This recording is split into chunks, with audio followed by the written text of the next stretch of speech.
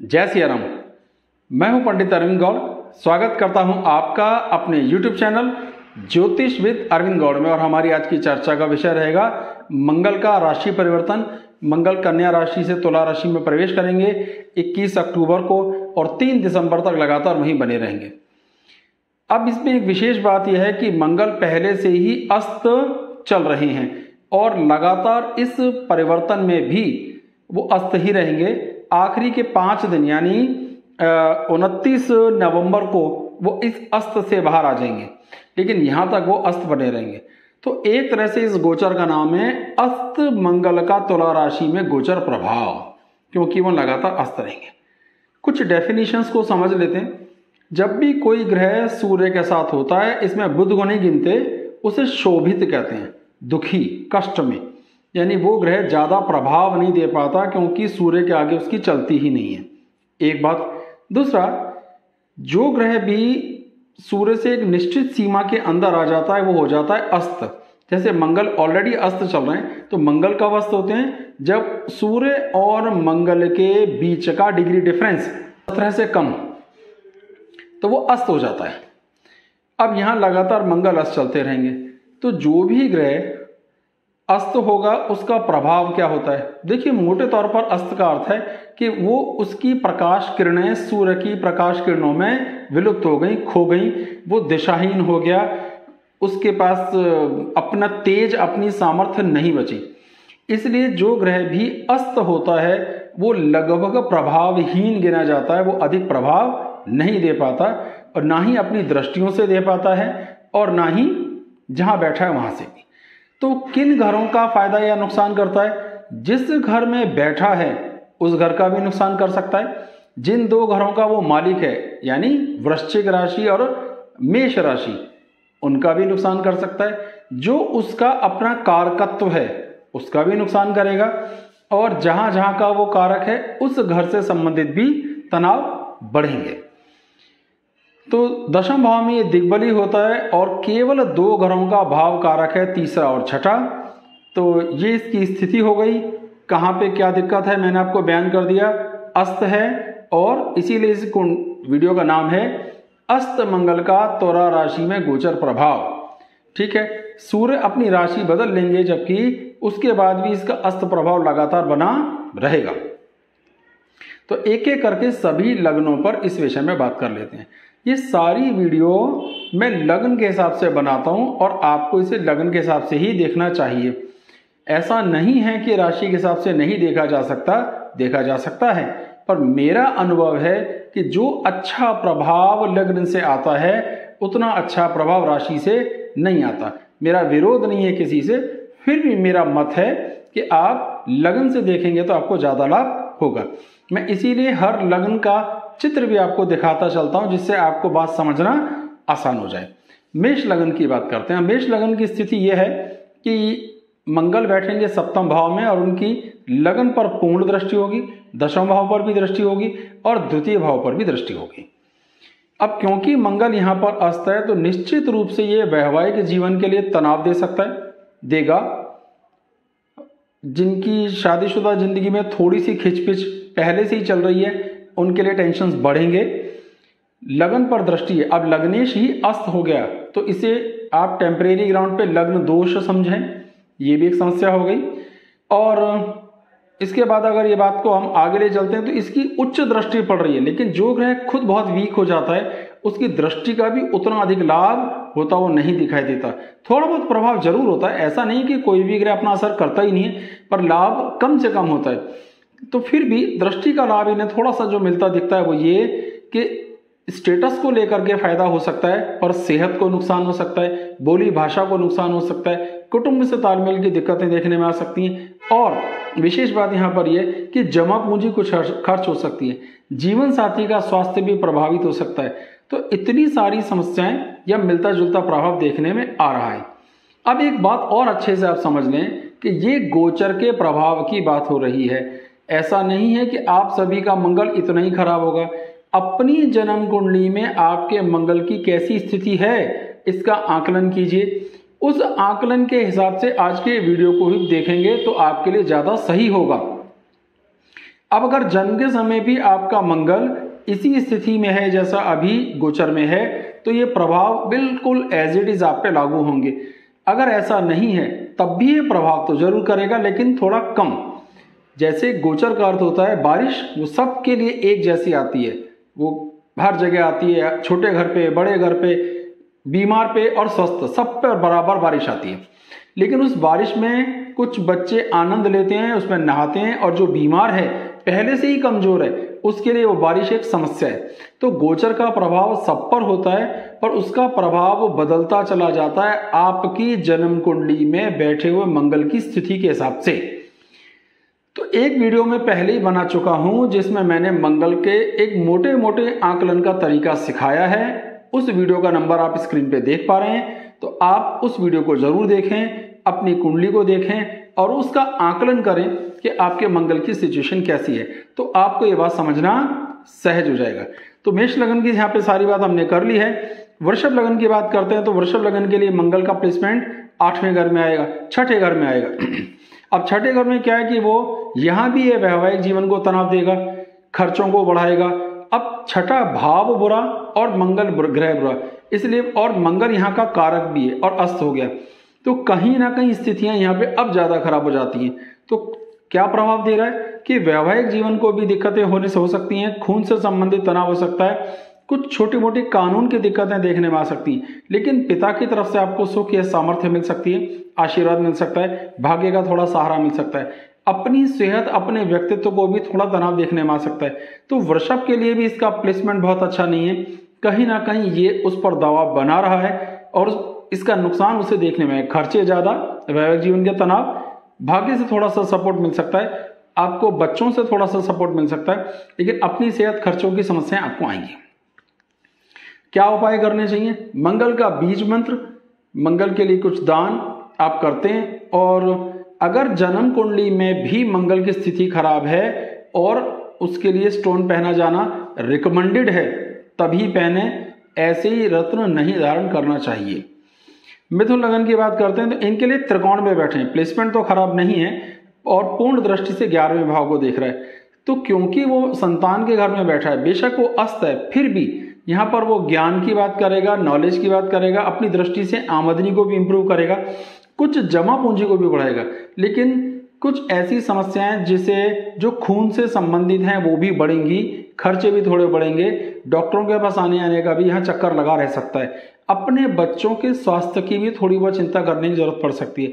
तो मिथुन के लिए स्थिति उतनी अधिक खराब नहीं है, थोड़ी खराब है, बहुत अधिक खराब नहीं है।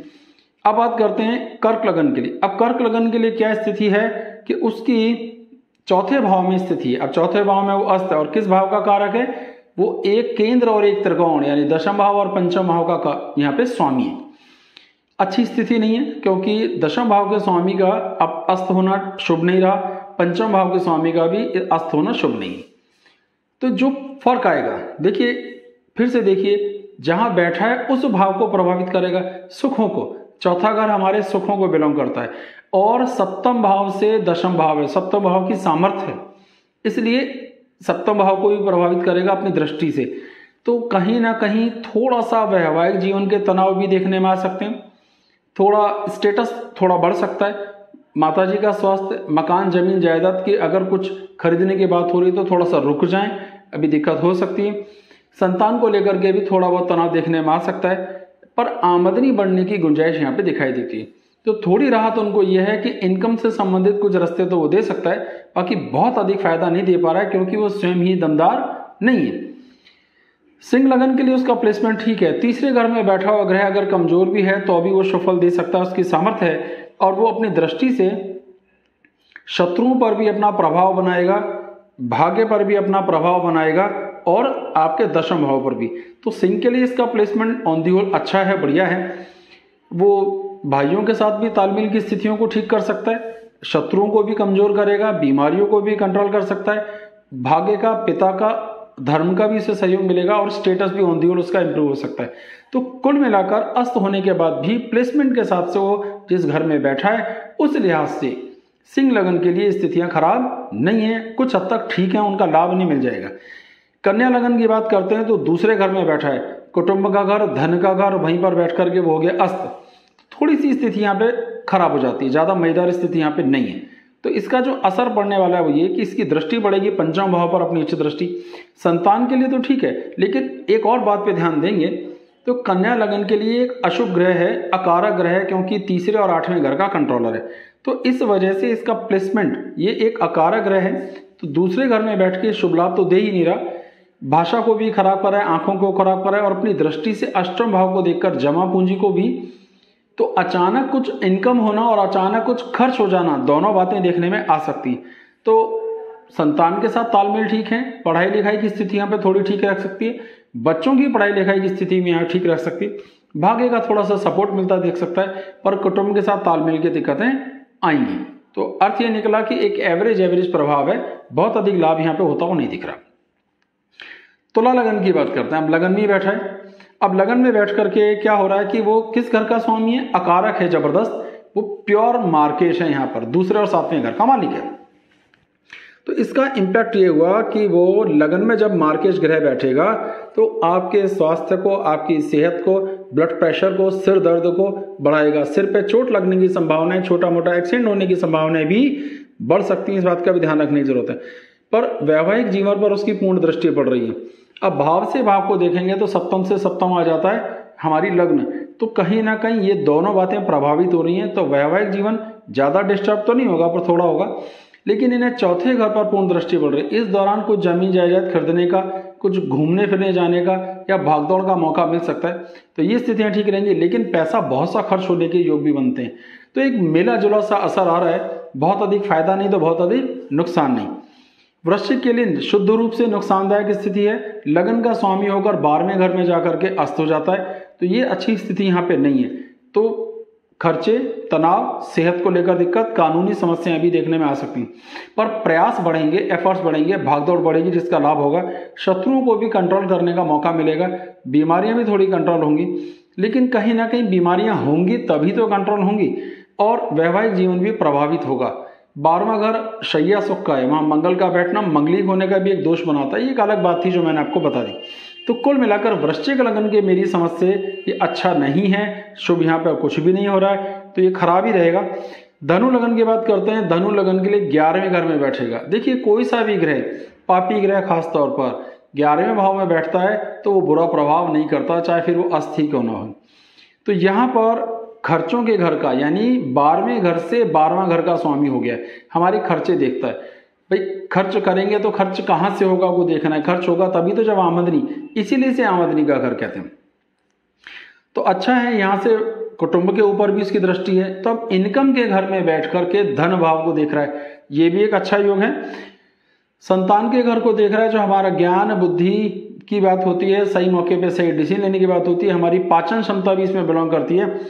और एग्जीक्यूटिव डिसीज़न लेने की सामर्थ्य है। ये भी इंप्रूव होगी। और शत्रुओं पर भी एक दबदबा बना रहेगा। उनसे भी, उनके सुलह वलह करवाने से भी कुछ पैसा कमाने का मौका मिल सकता है। तो धनु के लिए लगभग पूर्ण रूप से ठीक है। बहुत खराब स्थिति यहाँ पे कुछ भी नहीं है। तो इसको ठीक कहा जाएगा। मकर लगन की बात करते हैं। तो मकर के लिए दशम भाव में बैठता है। दशम भाव में बैठ करके वो दो केंद्र और एक त्रिकोण को देख रहा है। तीनों दृष्टियाँ अच्छे घरों पर पड़ रही हैं। और वो ग्यारहवें भाव का यहाँ पे मालिक है, चौथे घर का मालिक है। सारी स्थितियाँ बिल्कुल ठीक है। तो दशम भाव से वो दशम भाव को भी थोड़ी सी सामर्थ्य देगा इंप्रूव करेगा। उसकी दृष्टि लगन पर पड़ रही है, उच्च दृष्टि। तो लगन को भी इंप्रूव कर रहा है, सेहत, दबदबा, आपका अकड़ इंप्रूव हो सकती है थोड़ी सी बहुत ज़्यादा तो नहीं क्योंकि अस्त है, पर थोड़ी इंप्रूव होगी। आपके दबदबे से आपके काम बने, आपकी पहचान, आपके लिंक्स आप कहते हैं ना भी मेरी बड़े बड़े लोगों से पहचान है। तो ये पहचान आपके यहाँ पे काम आ सकती है। इसका आपको लाभ मिलेगा और दश, इस दशम भाव से चौथे भाव पर इसकी पूर्ण दृष्टि पड़ रही है। तो मकान का, वाहन का एजुकेशन का, विदेश जाने का, यात्राओं का मौका मिल सकता है। नए सिरे से संतान प्राप्ति का, अगर इस दौरान आप उम्मीद कर रहे हैं कि आपको संतान होगी तो उसकी संतान होने के योग भी बन सकते हैं। अपनी संतान की पढ़ाई लिखाई, अपनी पढ़ाई लिखाई, दोनों बातें यहाँ पर इंप्रूव होती हुई साफ़ साफ़ दिखाई देती तो दृष्टियाँ किन किन भावों पर आ रही हैं वो भी मैं चित्र में आपको बराबर दिखाता हुआ जा रहा हूँ। तो मकर के लिए भी स्थिति बिल्कुल ठीक रहने वाली, इसमें कोई बहुत अधिक समस्या नहीं। है अब बात करते हैं कुंभ लगन की। कुंभ लगन के लिए कहाँ प्लेसमेंट आया? कुंभ लगन के लिए आया नौवें घर में। नौवा घर क्या है? भाग्य का है, पिता का है, संतान, पंचम से पंचम। संतान भाव का भी स्वामी तो इसकी दृष्टि यहाँ जहाँ बैठा है, वहाँ तो ये ठीक है, पर एक अलग नियम ये है कि कोई भी ग्रह अपने भाव से बार में बैठेगा। तो उस भाव को खराब करेगा। इस लिहाज से दशम भाव के लिए थोड़ा सा खराब है। तो हमारी पोजीशन रुतबा थोड़ा प्रभावित होगा। खर्चे भी थोड़े से बढ़ने वाले हैं, भागदौड़ बढ़ने वाली है। लेकिन मेहनत और उस मेहनत के रिज़ल्ट आएँगे। भाइयों से तालमेल थोड़ा इंप्रूव होगा। माँ से तालमेल इंप्रूव होगा। मकान का, वाहन का, घूमने फिरने का मौके मिल सकते हैं। तो लमसम सारी बातों को पकड़ें। तो कुंभ के लिए भी बहुत खराब स्थिति नहीं है। जबकि ये अस्त है, फिर भी अस्त का अर्थ ये नहीं है कि वो कुछ नहीं करता अस्त का अर्थ है कि प्रभाव कम हो जाता है। तो यहाँ पे बहुत अच्छी स्थिति दिखती है कुंभ के लिए, इसमें कोई समस्या आती हुई नहीं दिखाई देती। अब आप मीन लगन की बात करते हैं। तो मीन लगन के लिए ये आठवें घर, भाग्य के स्वामी होकर के अष्टम भाव में चलेगा और वहाँ जाकर अस्त हुए। आठवें घर में जाना स्वास्थ्य से संबंधित तनाव देने की ज़िम्मेदारी लेता है। भाग्य से बारहवें घर में आना भाग्य को कमज़ोर करता है, पिता के सुख की कमी देखने में आ सकती है। पर आमदनी इंप्रूव होने का ज़बरदस्त मौका मिलेगा। कुटुंब के साथ तालमेल की स्थितियाँ इंप्रूव होंगी और आपको अपने एफर्ट्स अपने प्रयासों को और अच्छे से करने का भी मौका मिल सकता है। फिर भी कुल मिलाकर ईमानदारी से सिवाय आमदनी थोड़ी बढ़ने की इसमें कोई विशेष लाभ नहीं है तो मेरी तरफ़ से मीन लगन के लिए स्थिति बहुत अच्छी नहीं रहने वाली। सिंह लगन, उसके बाद धनु, मकर और कुंभ। तो पाँच लगनों के लिए इसका प्रभाव कुछ हद तक फिर भी ठीक है। सात लगनों के लिए इसका प्रभाव बिल्कुल ठीक नहीं है। उपाय बराबर वही करना है। ग्रह के बीज मंत्र, जन्म कुंडली में अगर प्लेसमेंट अच्छा है तो आप रत्न धारण करें, अन्यथा नहीं। तो बीज मंत्रों का जाप और ये दान की जो लिस्ट है, वो आपको स्क्रीन पे दिखाई जा रही है। आप इसका उपाय करेंगे तो आराम से ये समय निकल जाएगा। हमारे चैनल को सब्सक्राइब कीजिए, वीडियोस को लाइक कीजिए और आगे शेयर भी कीजिए। अगर आप अपनी जन्म कुंडली दिखाने के लिए संपर्क करना चाहते हैं तो कर सकते हैं। मेरा व्हाट्सअप नंबर स्क्रीन पे दिखाया जा रहा है। तो आप संपर्क कीजिए। आगे की सारी जानकारी आपको बता दी जाएगी। बहुत बहुत धन्यवाद। जय सिया राम।